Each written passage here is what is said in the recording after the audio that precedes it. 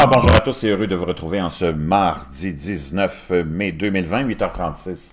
Alors du Québec, j'espère que vous allez bien, alors que la situation semble s'en aller dans euh, la direction d'une réouverture, mais tout le monde semble aussi euh, d'accord universellement qu'on ne reviendra jamais à ce qu'on était avant.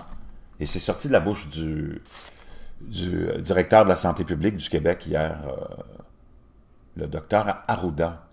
Si vous pensez que vous allez revenir à ce que vous aviez avant comme situation, oubliez ça. Donc, on s'en va vers un retour à une normale qui sera plus notre normale d'avant. Ce sera une nouvelle norme. Des nouvelles normes, puis une nouvelle normale. enfin, on verra bien, puis il faudra s'adapter. Qu'est-ce que vous voulez qu'on fasse? Il n'y aura pas d'autre chose à faire que ça. Pendant ce temps-là, J'espère que tout le monde va bien, que vous prenez soin de vous et que vous vous préparez parce que ça ne sera pas facile. Pendant ce temps-là, on essaye de comprendre ce qui se passe. pas facile. De nos jours, à la décharge de tout le monde, il faut vraiment être un maniaque pour essayer de faire les recherches, pour trouver vraiment où se trouvent les bonnes informations et un semblant de, pas de vérité, mais de fait. Parce que chacun peut interpréter des faits pour euh, satisfaire son envie d'une certaine vérité. Et c'est ça qui est important de faire. C'est pour ça que la partisanerie, il faut toujours mettre ça de côté parce que ça vient jamais aider euh, à trouver la véracité des faits. Ça vient toujours embrouiller tout. Donc, c'est important et c'est pour ça que je me suis détaché de toute partisanerie, que j'avais pas vraiment non plus, mais j'avais pris, par exemple, position pour Donald Trump, ce qui était une erreur monumentale, mais encore plus grande quand j'avais pris position pour Marine Le Pen, encore plus désastreux comme, comme euh, position. Mais j'ai fait mon mea culpa. Je peux comprendre que vous soyez encore dans ce système de pensée-là primal, hein, euh, et vraiment euh, d'un vieux, vieux, vieux concept grec qui nous a amené une démocratie complètement, euh, dans le fond, oligarchique. Hein? Dans le fond, c'est ça. Mais je peux comprendre que vous soyez encore là-dedans. Mais comment s'y retrouver dans la l'inondation de, nouvelles non fondées, de déclarations jamais vérifiées. Hein? Ça va tellement vite qu'on a les gens n'ont même pas le temps de, faire des recherches pour essayer de comprendre ce qui se passe. Donc, ces déclarations-là, ces nouvelles-là qu'on répète, qu'on répète, deviennent hein, des vérités. On a vu les régimes euh, tyranniques utiliser cette méthode-là de répétition, de répétition, euh, de vérité euh, ou de faits qui deviennent ancrés dans la tête des gens et qui prennent place et qui deviennent une vérité. Puis on le voit des deux côtés. Tout est politique. Hein? Le, système dans lequel on est n'est basé que sur ça. L'inondation de nouvelles, la politisation de tout, puis la division. Puis c'est comme ça qu'on règne. Donc, comme je vous disais, c'est difficile de savoir où s'en aller, où trouver les, les faits qui soutiennent ce qu'on voit à la télé, ce qu'on annonce, ce qu'on lance comme information. C'est vraiment pas facile. Puis juste hier, ce qui a été dit par exemple, on va revenir à la Maison-Blanche, Donald Trump, et euh, ce fameux médicament, euh, l'hydrochloroquine, hein, dont il a fait la promotion depuis 3-4 semaines à peu près, 5 semaines. Un médicament qui a été créé pour euh, d'autres maladies il y a 40, 50, 60 ans, qui n'ont rien à voir avec la maladie actuelle, mais comme ça l'aidait à essayer de se sortir d'une situation catastrophique qu'il a lui-même créée par sa mauvaise gestion, par son déni du début hein, de cette pandémie. On se rappellera, Donald Trump a dit, c'est le dernier hoax, c'est la dernière fumisterie des démocrates. On n'a pas un seul cas. C'était en Caroline du Sud, dans un rassemblement politique. Je vous ai partagé euh, cette déclaration-là à maintes reprises. On se retrouve aujourd'hui, le 19 mai, avec un monde complètement changé, avec des normes qui vont devenir complètement agaçante, complètement envahissante. La distanciation sociale, le désinfectant des mains à toutes les portes où tu vas vouloir entrer, et plein d'autres euh, normes qui vont être difficiles à enlever maintenant. Tout ça, gracieuseté, entre autres, Donald Trump qui a été complètement, complètement erratique dans la gestion de cette crise-là. Surtout pour nous au Canada, on est vraiment hein, le voisin euh, des États-Unis, puis on, on suit exactement ce que les Américains font. Puis on a eu un impact aussi de se laisser aller de l'administration de Donald Trump. Et naturellement, quand un médecin français est arrivé avec ce médicament-là, euh, alléguant avec une étude vraiment euh, non confirmée par personne d'autre que lui-même, que ce médicament-là avait une efficacité, Donald Trump a sauté là-dessus tout de suite, puis ses partisans aussi. Puis on peut comprendre ça aussi, on veut sortir de cette crise-là, c'est compréhensible.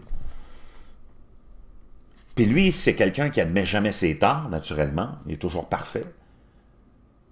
Il est revenu hier avec, imaginez, il a lancé la déclaration que lui-même prenait l'hydrochloroquine, ou chloroxine, whatever the name is, un comprimé par jour, je pense qu'il disait la dose qu'il prenait. On ne faut pas oublier qu'il y a deux, trois semaines, Donald Trump avait pensé à injecter du désinfectant dans le corps euh, désinfecté pour voir si ça pouvait pas peut-être fonctionner, parce qu'il dit comme le lissol, ça marche sur surface, peut-être qu'on peut injecter une forme de désinfectant ou de la lumière. On avait parlé d'une forme de, lumière qui pouvait peut-être euh, éliminer le virus à la surface. Donc, il dit peut-être qu'on peut hein, inonder le corps humain intérieurement et extérieurement.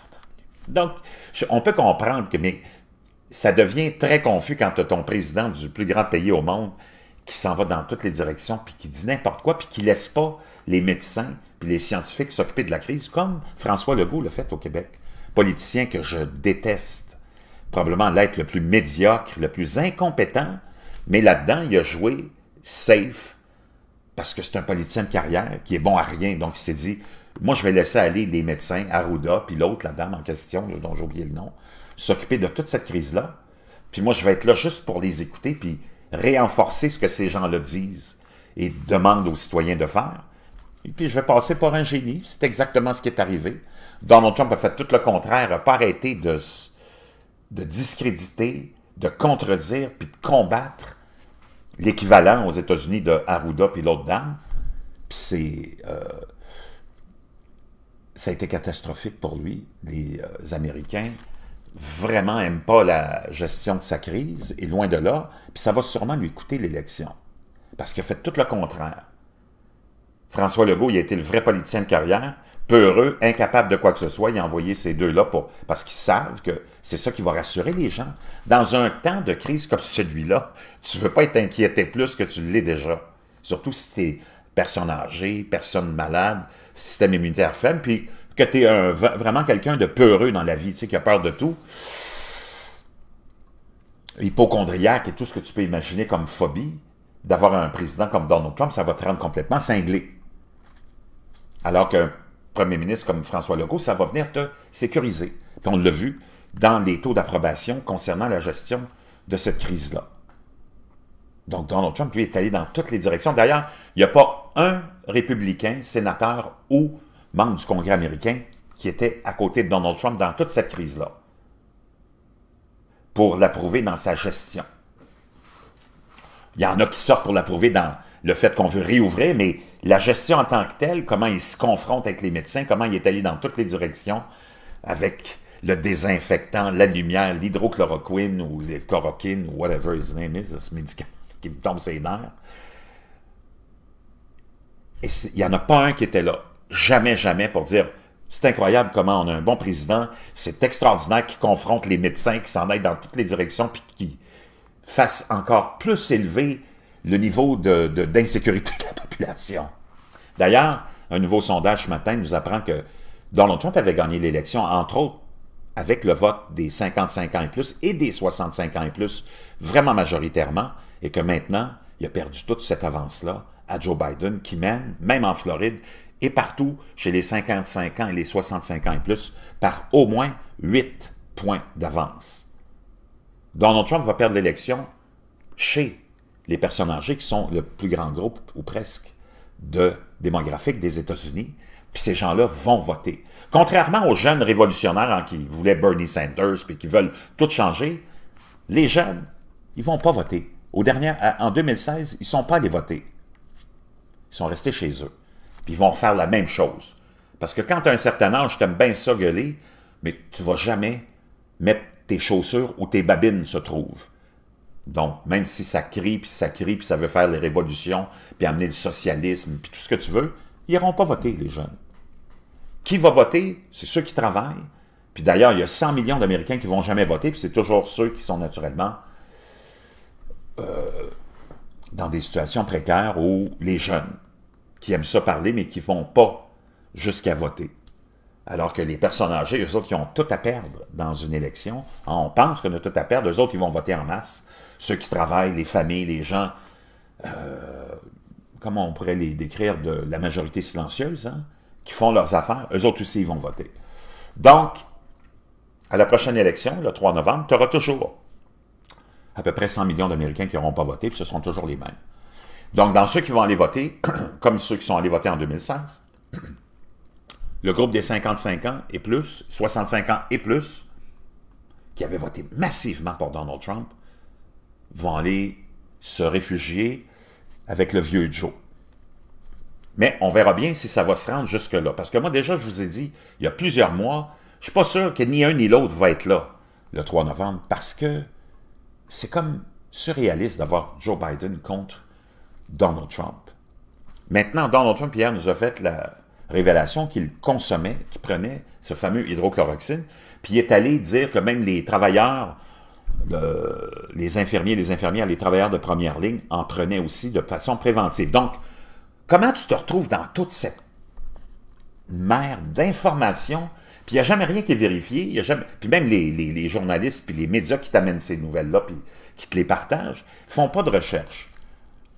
Donc, Trump, il y a quelques semaines, parlait de l'hydrochloroxine comme un médicament qui peut guérir, qui peut aider à sortir de la maladie quand tu l'as.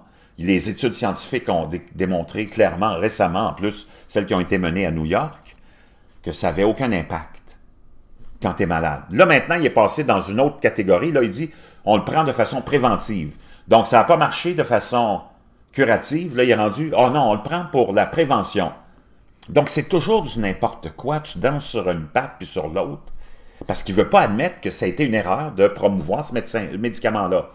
La seule chose dont Donald Trump sera jamais capable, c'est d'admettre une erreur. Et on lui demande qu'est-ce que vous pensez de votre. Voulez-vous vous noter, puis qu'est-ce que vous pensez de votre présidence? Il est toujours en train de se donner des A. Comprends-tu ce que je veux dire? C'est parce qu'à un moment donné.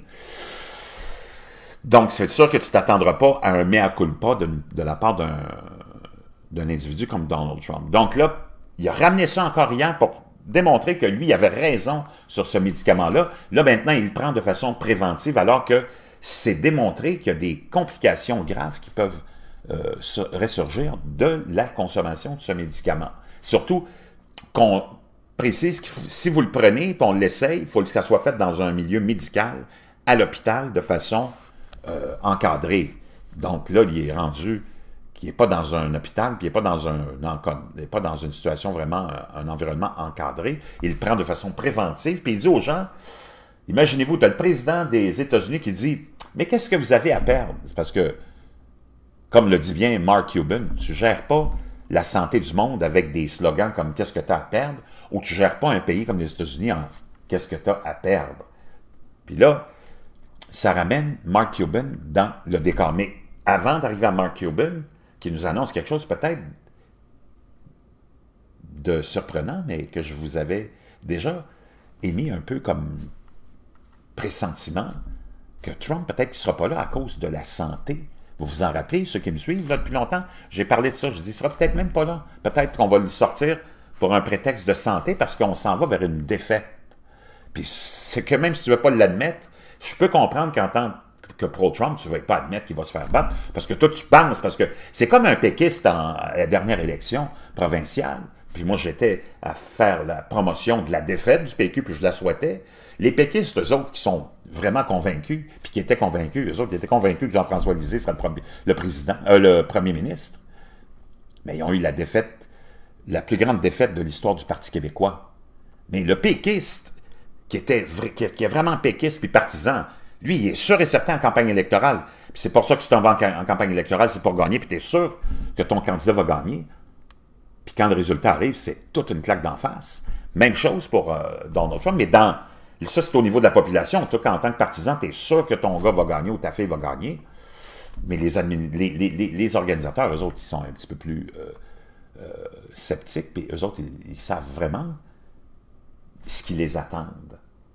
Puis là, on le sait, chez Donald Trump, on s'attend, on le sait que ça va être très difficile, puis c'est probablement une défaite qui les attend, puis peut-être même une perte de contrôle du Sénat, ça serait désastreux. Déjà, ils ont perdu la Chambre. Donc, est-ce que Donald Trump, donc il dit qu'il lui, il prend, puis que les travailleurs de, la santé, les, gens des premières lignes le prennent aussi en Donc, il, il, lance ça comme ça. Puis moi, j'ai fait des recherches ce matin, puis il n'y a rien qui démontre qu'il y a des gens du domaine de la santé aux États-Unis qui prennent ce médicament-là. Rien. Puis il n'y a pas un journaliste qui fait la recherche, puis tu ne peux pas trouver un article qui dit moi, la première chose que j'aurais faite, je suis journaliste payé pour renseigner puis enquêter, c'est je serais allé tout de suite m'informer. Est-ce que c'est vrai qu'il y a des travailleurs des premières lignes qui prennent ce médicament-là en tant que de façon préventive? Il n'y a personne qui a fait ce travail-là. Puis moi, j'ai fait des recherches, puis il n'y a rien, rien. On rap, on rap, tout ce qu'on fait, c'est qu'on rapporte la, la, conférence, le point de presse d'hier de Trump quand il dit ça. Il n'y a personne qui fait la recherche. Donc, c'est pas facile de s'y retrouver. Puis comment tu t'y retrouves? Donc, ça devient, tout ce qu'on t'envoie, ça devient des perceptions, puis tu deviens convaincu de ce qui a été dit. Maintenant, comme ce médicament-là est euh, puis toutes les, études euh, disponibles le, disent, ce médicament-là peut être très dommageable. Donc, on va aller écouter d'abord, premièrement, Trump qui nous raconte que lui, euh, il prend ce médicament-là. On écoute Donald Trump. Look, uh, see whether or not, I, I won't put it on me, I'll put it on you. See whether or not he was a big contributor to the Democrats. See whether I catch it. The frontline workers, many, many are taking it. I happen to be taking it. Donc, c'est ici. You'd be surprised at how many people are taking it, especially the frontline workers, before you catch it. Donc, il dit, voyez-vous, vous seriez surpris de savoir combien il y a de travailleurs de première, première ligne qui le prennent juste pour pas attraper. Ben là, c'est du n'importe quoi depuis le début. Puis on laisse dire n'importe quoi. C'est ça qui est, c'est ça qui est hallucinant.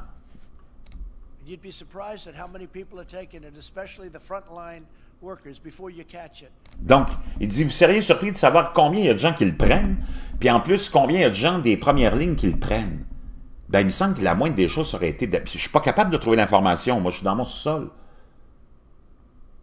des informations solides qui te démontrent que oui, puis tu les vois les prendre, ces médicaments-là, les gens. Non, il n'y a rien. Tu peux pas trouver. C'est juste, encore là, c'est de l'information qui est lancée.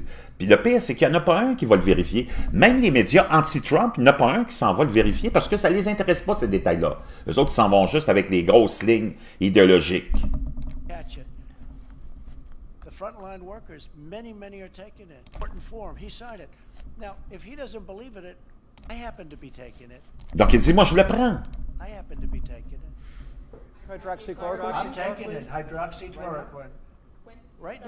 Il dit, oui, je le prends, mais en ce moment.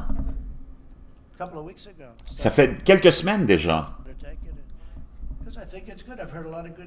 Parce que je pense que c'est bon, j'ai entendu plein de bonnes histoires. Donc, au début, il nous disait, c'est ça qui va te guérir, ou qui va t'aider à te guérir. Puis là, maintenant, comme ça a été prouvé complètement, euh, vraiment discutable, parce qu'il n'y a aucune étude qui démontre, puis toutes les études qu'on a faites récemment, surtout à New York, démontrent que, que tu le prennes ou pas, ça ne change pas ta condition quand tu es malade. Là, il vient nous dire qu'il le prend parce qu'il j'ai entendu tellement de bonnes choses. Mais là, quand on a commencé à parler de ça, il y a 4-5 semaines, 6 semaines, 4 semaines, 5 semaines, hein, même chez les pro-Trump, on nous disait, ça y est, on a, Alexis qui nous disait, ça y est, on a l'hydrochloroquine, chloroquine, on, a, on, est sorti de la pandémie, c'est fini, ce médicament-là guérit. Euh, là, maintenant, on n'est même plus dans la guérison, on est rendu dans la prévention parce que la guérison, ça a été prouvé inefficace. Donc, voyez-vous, c'est du n'importe quoi, toujours et toujours. Et si c'est pas bon, je vous le dirai. Puis Donald Trump, il y a à peu près 20 000 mensonges depuis qu'il est président. Donc, comment tu prends ça? Puis lui, en plus, il y a plein de gens qui le connaissent qui disent que ce gars-là, il est tellement, tellement maniaque des bactéries, maniaque des maladies, qui a peur de tout, Pensez-vous vraiment qu'il prendra un médicament comme celui-là? Donc, est-ce qu'il le prend ou il le prend pas? On ne le saura jamais. I'm not going to get hurt by it. It's been around for 40 Je serai pas, je, je serai pas, pas de, conséquences. Ça fait 40 ans qu'il existe ce médicament-là. C'est utilisé pour la malaria, ils viennent nous le dire. Ça n'a rien à voir avec la maladie actuelle. Le lu- lupus, beaucoup de médecins le prennent, puis des travailleurs de première ligne. Donc, il n'y a personne qui s'en va vérifier cette information-là, puis on ne peut pas la vérifier parce qu'il n'y en a pas. Tout ce qu'on a, c'est des études qui démontrent la dangerosité de ça. On a le Dr. Fauci qui dit ça n'a pas de sens. Donc, si tu as toute l'équipe médicale qui dit ça n'a pas de sens, pensez-vous vraiment que les travailleurs de première ligne puis les médecins le prennent? C'est ça la question qu'on doit se poser, mais tu ne peux pas trouver l'information. doctors take it. Excuse me. Beaucoup de docteurs. Il n'y a pas de statistiques, puis il ne vient pas nous donner des noms. C'est juste du n'importe quoi. Puis c'est pas juste Donald Trump qui est comme ça, là. Tout le monde, tout le monde en politique, en publicité, en n'importe quel domaine, c'est toujours juste du n'importe quoi. On fonctionne sur le n'importe quoi. Sur des déclarations qui n'ont jamais été vérifiées de n'importe qui. Puis on, on en fait notre, euh, nos- notre vérité, puis notre réalité. C'est ça qui est dangereux. I take it. I hope to not be able to take it soon because, you know, I hope they come up with some answer. But I think people should be allowed to. I got a letter from a doctor. that- Donc, c'est incroyable. Maintenant, Mark Cuban, hein, qui dit qu'il n'exclut pas, avec une entre, dans une entrevue hier sur Fox News avec Martha McCallum, qui n'exclut pas une- d'entrer dans la course à la Maison-Blanche parce qu'il dit beaucoup de choses peuvent arriver d'ici novembre. Exactement ce que je vous avais dit. Donc, Mark Cuban, pour ceux qui le connaissent, c'est euh, c'est un homme d'affaires euh, réputé. C'est le propriétaire, je pense, des, euh, de l'équipe euh, de football. euh, on va aller voir exactement. Je pense que c'est Dallas. Mark Cuban. Vraiment populaire, quelqu'un de vraiment, vraiment euh, rationnel, aimé de tout le monde. euh, un homme d'affaires, comme je vous disais, vraiment, vraiment euh,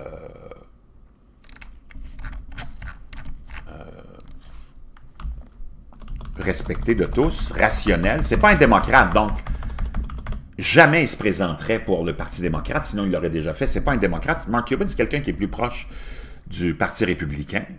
Donc, euh, on va aller voir un peu euh, son pedigree à Mark Cuban parce que je veux juste être certain de quelle équipe. Bon, les Dallas de Maverick, l'équipe de basketball, j'ai dit football, mais c'est basketball. Il est le propriétaire des euh, Mavericks de Dallas.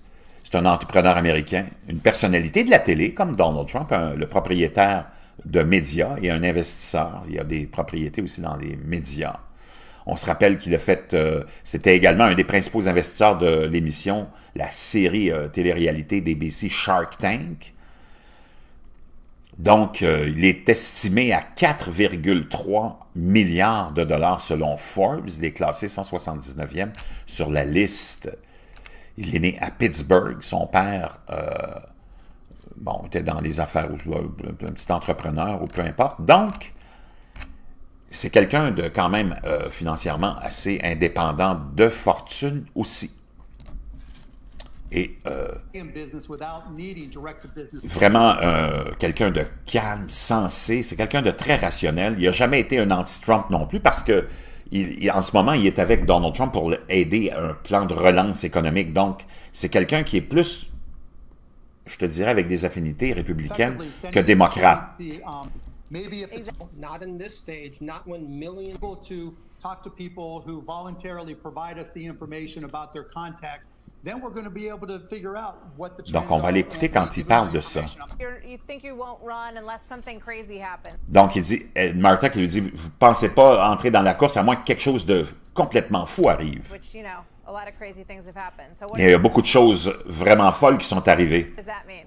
Qu'est-ce que ça veut dire? It just means just that. I mean, you know, I'm just not. I'm not one to close the door, Je suis pas un de ceux qui ferment les portes. Martha. You know, so many crazy things have happened.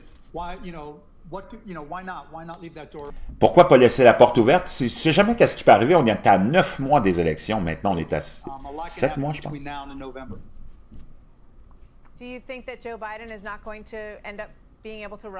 Est-ce que vous pensez que c'est parce que Joe Biden ne sera pas capable de vraiment finir la course? Qu'est-ce que vous voyez comme vulnérabilité pour laisser la porte ouverte? Where's the vulnerability You know, in, in the two people that exist? What did the what did the president say about taking um, hydrochloroquine? Bon, mais il dit, on entend le président, il dit non, ça n'a rien à voir avec Joe Biden, parce que lui, c'est pas un démocrate, euh, Mark Cuban. Mais là, on entend Joe- euh, Donald Trump qui prend l'hydrochloroquine, chloroquine. know, um, what could possibly, you know, why not? Pourquoi pas? Oh, j'ai perdu mon, attendez, mon lien. In terms of Je vais vous ramener ça où on était à peu près.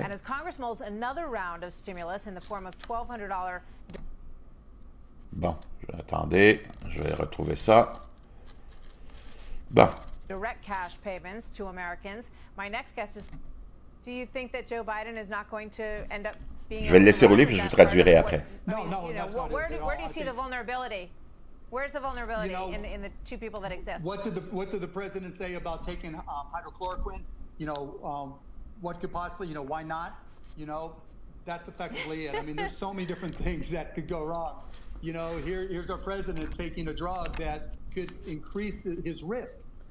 Crazier things have happened. I'm not saying the pres anything's going to happen to the president. il dit, je ne veux pas dire que quelque chose va arriver au président, mais il prend un médicament qui est très risqué, et c'est pour ça que je laisse la porte ouverte. president. I certainly don't know and certainly don't wish that to anybody, On, on, on souhaite ça à personne, euh, ni à Joe Biden, ni à qui que ce soit, mais But we're just in strange times. If we're if there's a resurgence of the virus and just the On the president put in place just go horribly wrong, or that you know um, Joe Biden proposes go horribly wrong, maybe somebody people are going to look for somebody else in a, a different type of.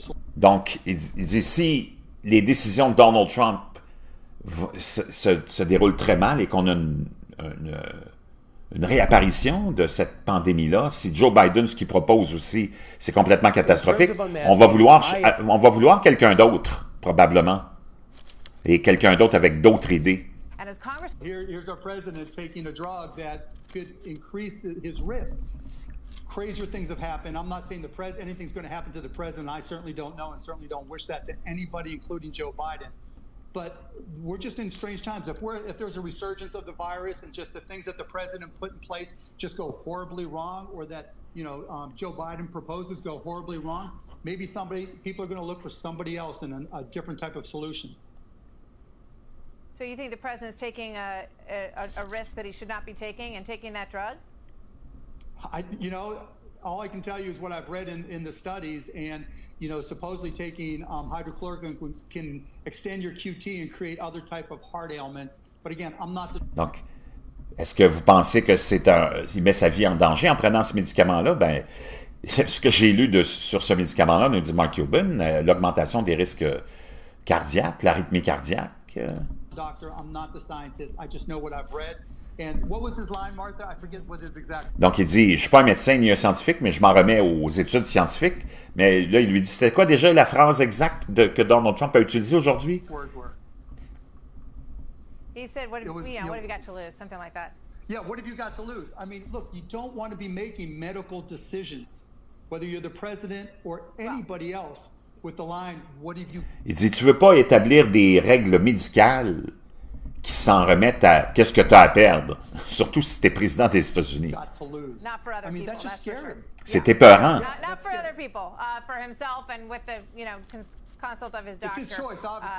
C'est son choix, mais tu veux doctor. pas établir ça comme politique. And so, what have you got to lose is not the way to run a country. Qu'est-ce que tu as à perdre comme ligne, comme slogan? C'est vraiment pas comme ça que tu gères un pays, nous dit Mark Cuban. Donc, tu sais jamais qu'est-ce qui peut arriver. Donc, Mark Cuban ne ferme pas la porte. Donald Trump va-t-il lui-même se faire disparaître avec l'hydrochloroquine? C'est toutes sortes de... On vit vraiment, hein, comme le dit Mark Cuban, dans une époque complètement, complètement folle. Tout est possible. Je voulais juste partager ça. C'est pas pour mettre le feu aux poudres de, pour qui que ce soit. Mon but, c'est pas ça. Mon but, c'est D'abord, ça ne donne absolument rien. que ce soit Donald Trump ou un autre, ou Emmanuel Macron ou un autre, ou François Legault ou un autre, ou Justin Trudeau ou un autre au pouvoir, notre réalité ne change pas, puis qu'on arrête de s'embarquer dans ce vieux modèle qui ne sert à rien. Puis c'était surtout pour vous démontrer que comment tu fais pour te retrouver dans tout un, un océan de nouvelles continuelles qui sont jamais vérifiables puis qui sont jamais vérifiées. C'est vraiment pas facile en tant que citoyen ordinaire. Puis j'essaye d'amener un petit peu de lumière là-dedans. Puis vous prenez ce que vous voulez. Mais tu as besoin d'un autre son de cloche. Tu peux pas être juste d'un côté, disons, démocrate ou péquiste, puis l'autre côté, puis juste avoir ça. Deux chevaux complètement aveuglés qui s'en vont dans une direction, puis qu'il n'y a personne qui essaye d'éclairer, puis de leur donner une direction. C'est un peu ça que je veux faire. Parce que c'est vraiment, vraiment inquiétant. Je vous reviens.